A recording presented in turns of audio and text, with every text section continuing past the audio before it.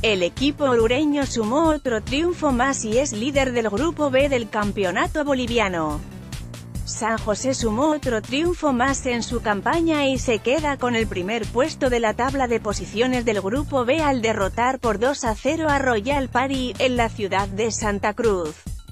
Con un doblete de Carlos Enrique Saucedo, el cuadro orureño sumó tres unidades que lo ponen primero en la serie con 19 puntos, muy lejos de sus perseguidores. Saucedo fue la figura de la fecha al marcarlos dos goles, el primero lo hizo con un lanzamiento penal a los 19 minutos, el segundo llegó a los 64 minutos en una balón que tomó en el área grande al que mandó por encima del portero.